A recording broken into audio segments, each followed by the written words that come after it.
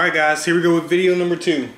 So for this one, once again, um, I have both the Helix and the Axe-Fx running into my mission cab through the uh, 44 Magnum power amp. So technically the Helix is running into a loop, into an input into the Axe-Fx, and then I'm just gonna bypass the, uh, I'm gonna bypass things as necessary, because y'all hear whichever one we need to hear at the moment. So we're gonna do three amps. We're gonna start off with the uh, Soldano, uh, what is it? SLO 100. Super lead overdrive on its uh, overdrive channel in the Helix, lead channel in the Axe-Fx. So this is the Axe-Fx, no pedals.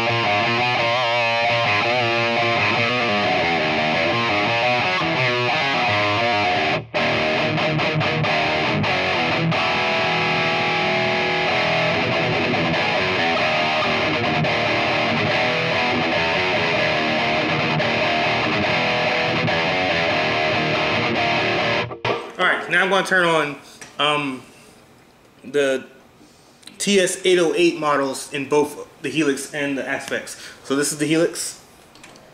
For both, the gain is on 0, tone is on 5, and level is on 10.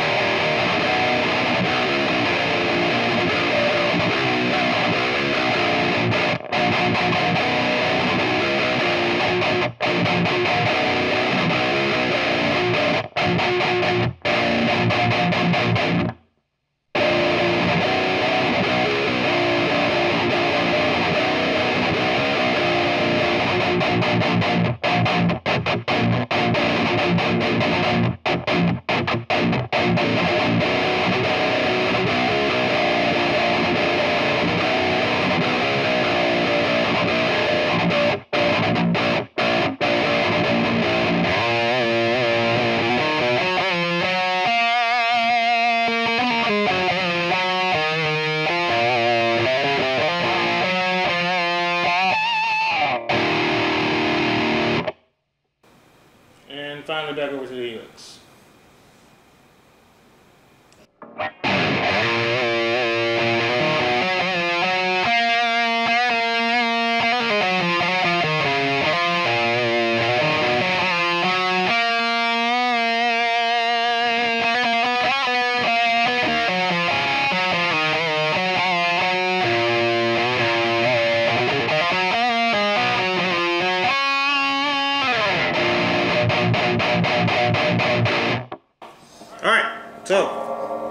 There goes amp number one. And uh, so far, I like them fairly equally. Like I said, both of the, I have everything on noon in terms of EQ for both of the models. And they both sound great. It seems like the Helix one had a little bit more gain with everything at noon, but I don't know which one's more accurate or anything. And, and like you got to realize that they model these off of specific amps. So maybe the one that the Helix model just had a little bit more gain. Anyway, on to the next one. All right, here we go with amp number two, which is a uh, Mesa Boogie dual rectifier. We're on the uh,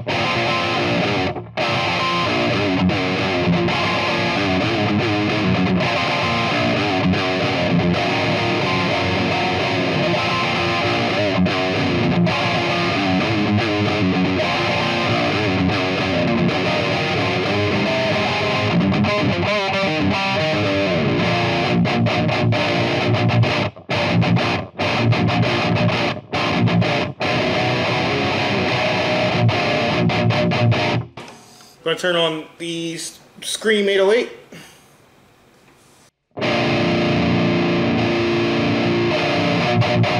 That's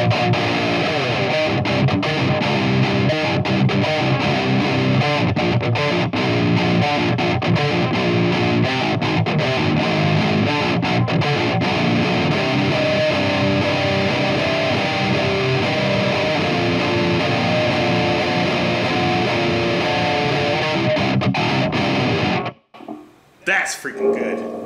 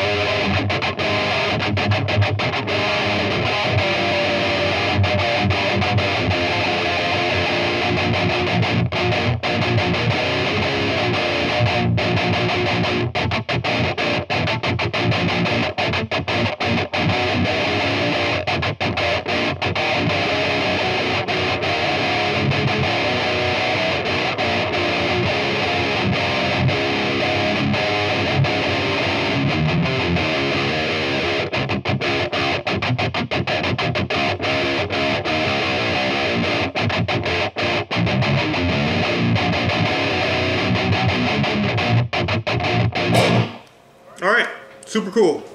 So in that case, I liked the uh, Helix's Uber model better, but to be fair, you have to realize that uh, the Axe-Fx has a whole, whole bunch more customization options than what I used here.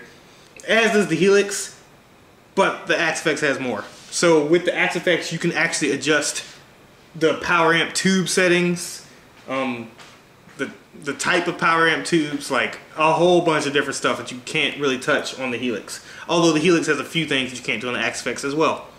Um, but still, just looking at them right beside each other, the Axe-Fx is a good bit more deep. But that said, in terms of just simplicity and dialing in a tone, that was just the Helix's Ubersonic model with everything at 5, and I really liked it a heck of a lot.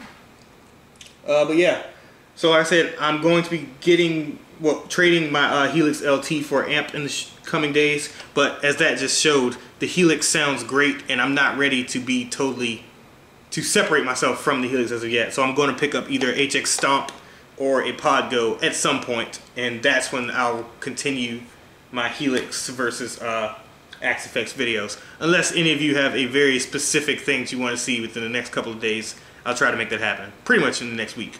But alright, if you guys enjoyed this video, please like, share, subscribe, all that sort of stuff. Take care and enjoy the rest of your weekend.